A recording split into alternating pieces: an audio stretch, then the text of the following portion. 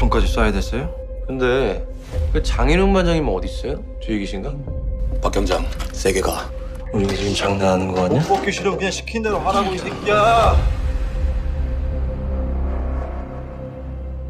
야 장 반장 김영군 쟤 내가 데려간다 김영군 가서 얘기 좀 하자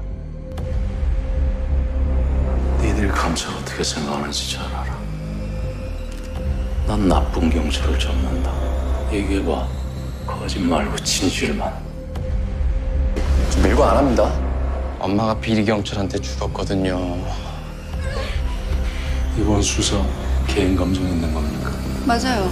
같이 나쁜 경찰 잡으면 되니까. 내가 형 믿어서 사람들 다쳤어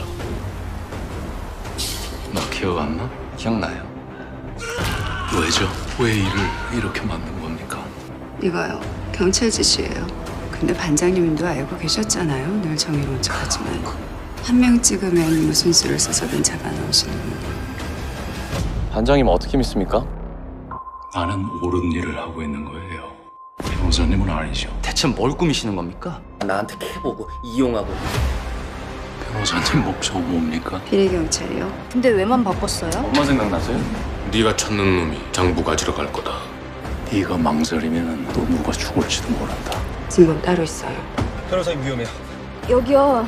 다른 시체가 있어요. 인간다움은 어디서 올까요? 아버지를 잡아놓은 놈하고 일하 더큰 게 있어요.